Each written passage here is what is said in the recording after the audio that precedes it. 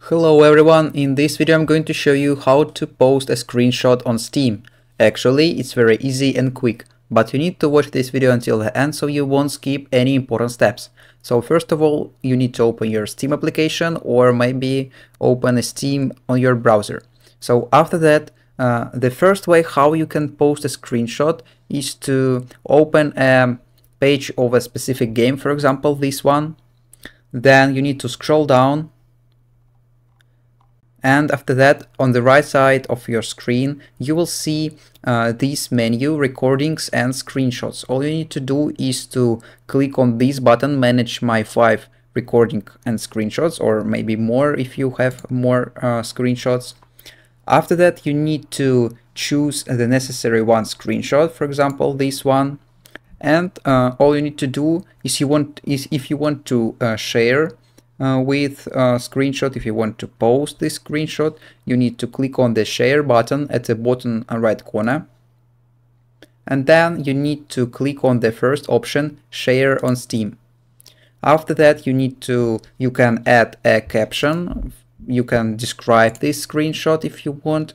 Uh, uh, then you need to click on this option, visibility and choose uh, the necessary one option. For example, public, that means that everyone can uh, be able to see your screenshot or friends only. That means that only friends uh, will be able to see your screenshot. For example, um, I will choose the second one option. Uh, and you can enable tag as, as a potential spoiler if you want. So after that you need to click on this blue button upload and after that your screenshot uh, will be uploaded. So another way how you can do that is to go to your activity. Um, here it is. After that, on the right side, you need to click on the screenshots option. And after that, you will see all your screenshots. So actually, if you want to post uh, more than one screenshot, you need to click on this option, manage screenshots. After that, you need to choose uh, necessary uh, screenshots. For example, it can be two screenshots, three, or more. Uh, for example, I'll choose these screenshots.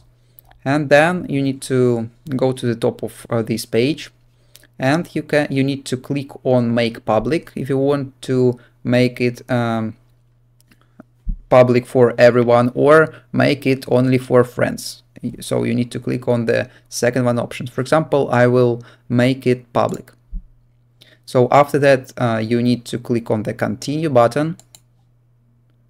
And after that, your screenshots will be posted. So, and that's all. And that's how to post screenshot on Steam.